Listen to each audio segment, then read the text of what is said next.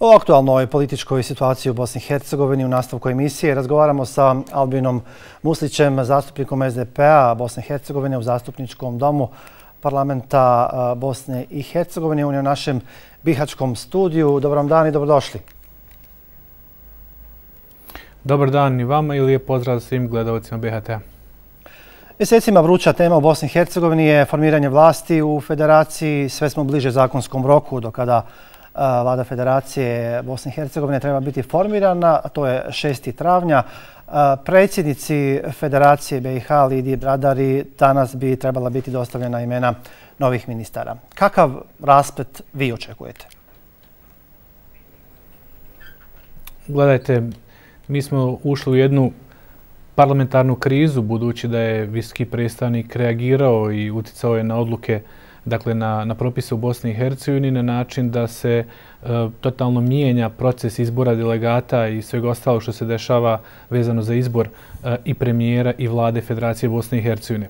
Ono što očekujemo u najmanju ruku da visoki predstavnik koji na neki način i zakomplicirao u pravnu situaciju ili da tako kažem možda nije predvidio bosansko-hercegovački realitet, a to je da postoji mogućnost da rukovodstvo federacije, dakle predsjednik i podpredsjednici federacije Bosne i Hercegovine budu iz određenih političkih partija koje nemaju većinu ili nisu pozicija u predstavničkom domu parlamenta e, Federacije Bosne i Hercegovine. Tako da e, dvije su moguće varijante da visoki predstavnik ponovo interveniše u naše zakonodavstvo ili da e, rukovodstvo Federacije Bosne i Hercegovine se saglasi ko će to biti kandidat za premijera Federacije Bosne i Hercegovine i da predstavnički dom i potvrdi dakle, novu vladu Federacije Bosne i Hercegovine.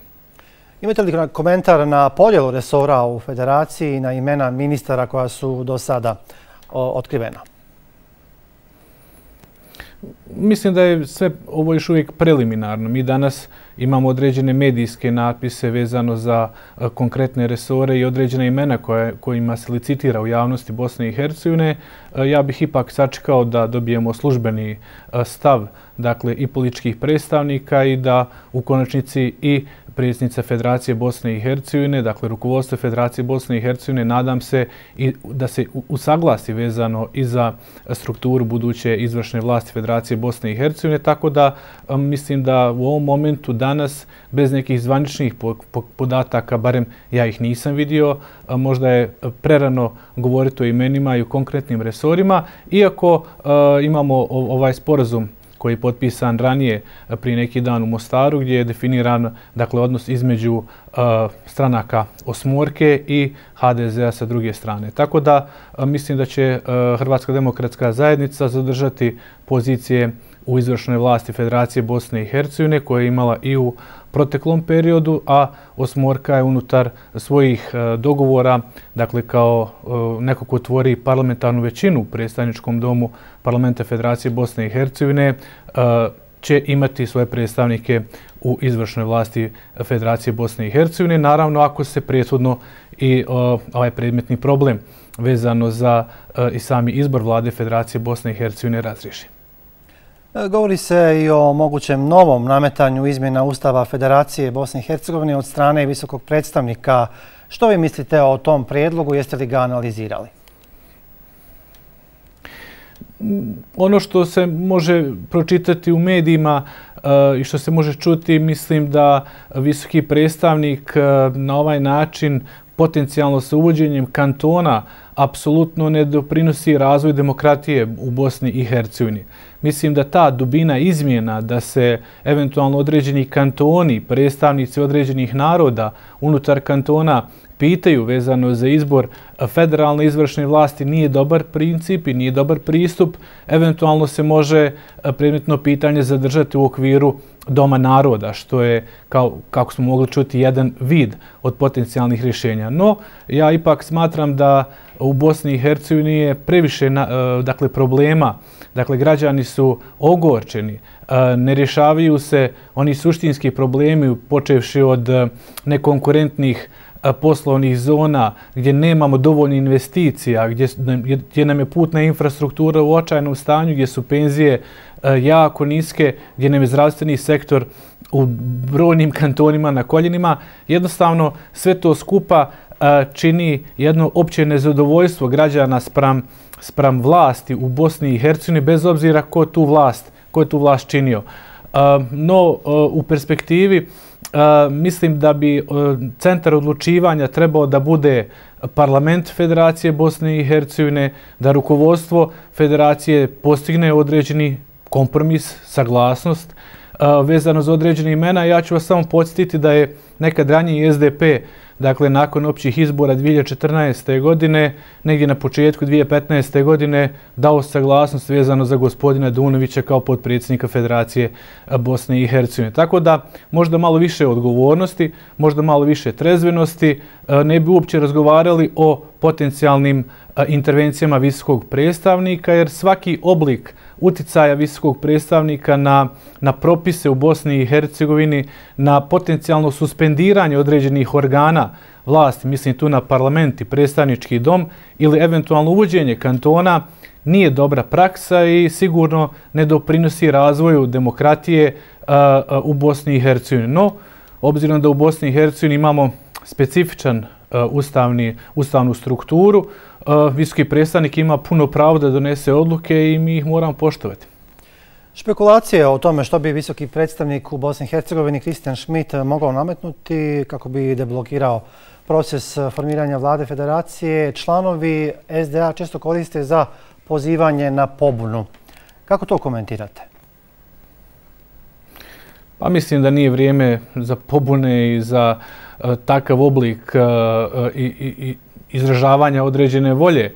E, mi imamo e, izabrane e, zakonodavne organe vlasti u Bosni i Hercegovini. Imamo parlament Federacije Bosne i Hercegovine koji se sastoji od predstavničkog doma i doma naroda gdje su izabrani i dakle zastupnici u predstavničkom domu, a i delegati u domu naroda i mislim da bi se političke e, odluke i sve ono što eventualno političke partije smatraju trebalo da kanališu kroz e, parlament Federacije Bosne i Hercegovine. E, naravno, svako ko je formiran kao politička partija ima priliku i mogućnost da E, na različite oblike djelovanja, ali mislim da u Bosni i Hercegovini previše e, dakle, nagomilanih problema i da dodatnu tenziju i dodatno nezadovoljstvo da se eventualno kroz nekve proteste i ostalo, mislim da nije dobro.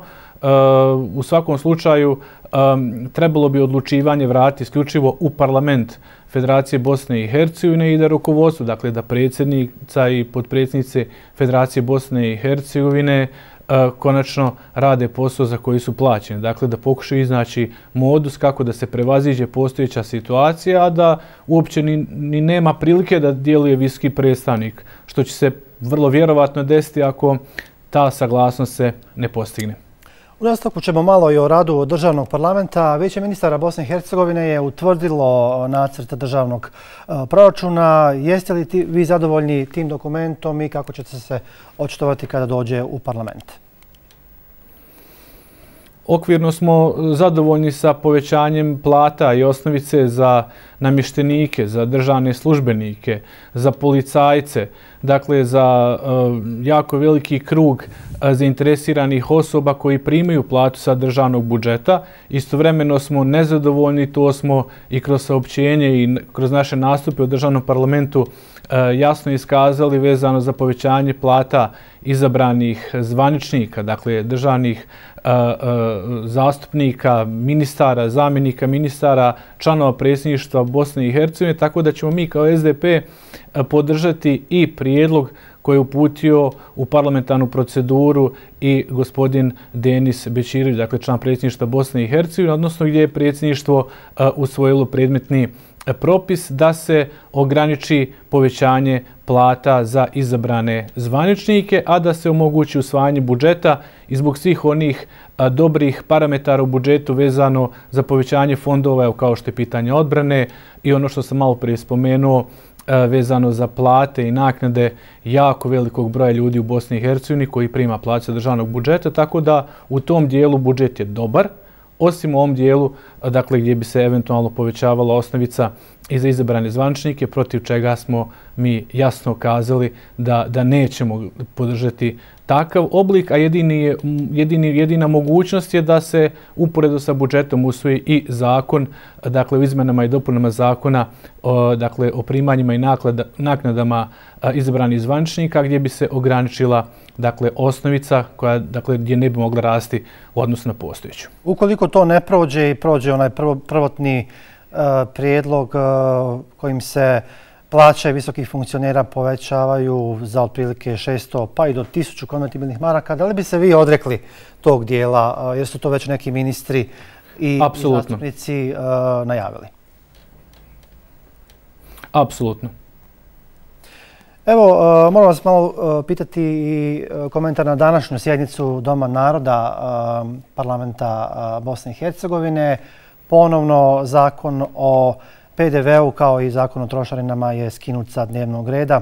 Zbog čega nema političke volje da se ovo, ovi prijedlozi usvoje? Doista nisam vidio koji su razlozi ali generalno sam protiv takvog oblika djelovanja, budući da e, sve ono o čemu smo govorili u proteklom periodu, pa i što smo izložili građanima na izborima koji su održani u oktobru prošle godine, jednostavno ta socijalna osjetljivost koja treba da bude u fokusu svih nas koji se nalazimo na određenim pozicijama, treba je pretočiti u konkretan rad.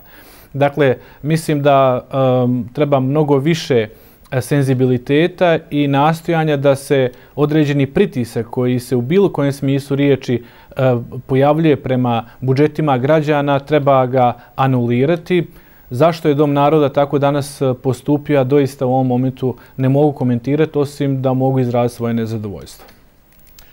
Dosta reakcija u javnosti izazvao je i napad na povratnike u Višegradu koji se dogodio protekli vikend.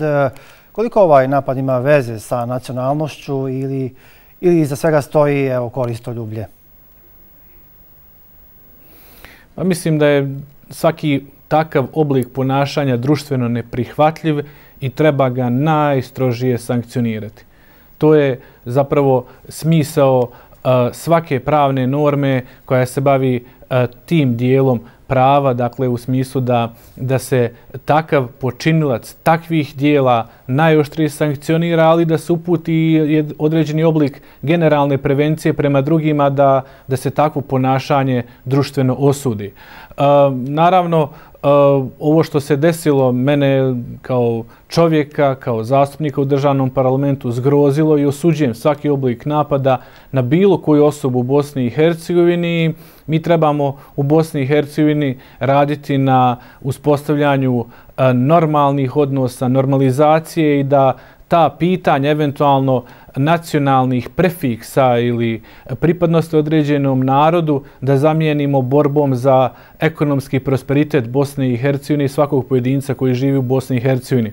Evo ja se danas nalazim u Bihaću, mi imamo objektivan problem da, da, da zbog takvih možda i pojava koje najoštrije još jedan put osuđujem, mnogi građani odluče da, da napuste trajno Bosnu i Hercegovinu jer ne žele da žive u takvom jednom ambijentu potencijalnog straha, Uh, uh, nesigurnosti i svega ostalog što se dešava. Tako da um, pitanje i konkretni odnos uh, određenih pojedinaca sprem određenih grupa, pogotovo to što se desilo prije nekoliko dana na području Republike Srpske, je društveno neprihvatljivo ponašanje i očekujemo od nadležnih organa da najstrožije sankcioniraju počinioce ili počinioce tog krivičnog dijela.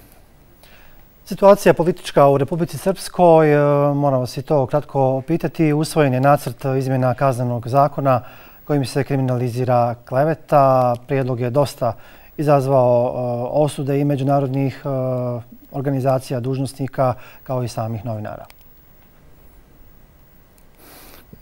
Gledajte, mi smo u jednom ranjem periodu krenuli putem dekriminalizacije dakle, klevete izgovorene riječi.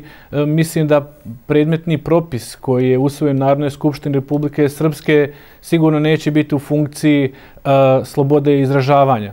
Ja ću samo e, napomenuti da i Evropska komisija kada je izvršila monitoring Bosne i Hercegovine vezano za preporuke, jasno je dala do znanja da u Bosni i Hercegovini treba raditi e, na dodatnom promoviranju slobode govora, slobode rada novinara, medijskih sloboda uopće, tako da e, bojim se s ove tačke gledišta da je predmetni propis svojevrsni korak e, e, nazad, što u svakom slučaju nije dobro. Međutim, ja očekujem da će ipak u nekoj kasnijoj fazi ipak sazrijeti svijest da se predmetni propis u takvoj formi ipak ne usvoji, da e, mi radimo na slobodi izražavanja, slobodi mišljenja i da svaki pojedinac koji smatra da određena pojava u društvu nije dobra, da ima slobodu da to i kaže, a da pritom ne strahuje od eventualnog krivičnog sankcioniranja, što apsolutno e, po meni nije dobro rješenje. Formirana je nova vlada Unsko-Sanskog kantona, SDP u tom kantonu nije dio vlasti. Što vi očekujete od ove vlade i koji su to najprioritetniji zadaci e, koji stoji pred ovom vladom? Da, kao što ste rekli, SDP nije dio parlamentarne većine u Skupštini Unsko-Sanskog kantona. E, ono što očekujemo od e, vlade kantona da e, načini dodatne korake u smislu donošenja potrebne prostorno-planske dokumentacije kako bi se započela izgradnja velikih infrastrukturnih projekata na teritoriji našeg cijelog kantona, ali i da se konkretnim mjerama podrške e, privredi i stanovništvu Bosne i Hercegovine na ovom kantonu, dakle Unsko-Sanskog kantona, zaustavi ovaj jedan opasan trend depopulacije i napuštanja dakle eh, Unsko-Sanskog kantona od strane eh, cijelih porodica koji su ovdje donedavno živjeli.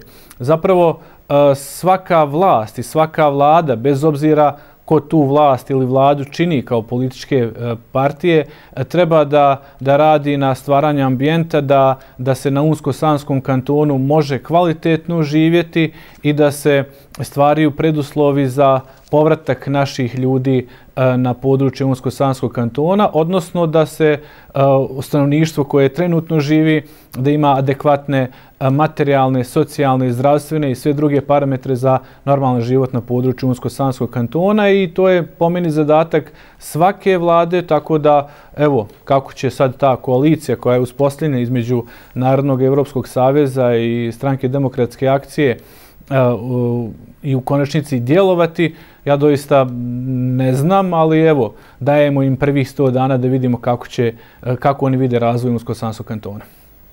Gospodine Musliću, hvala vam puno što ste bili gost e, emisije BHT1 uživo.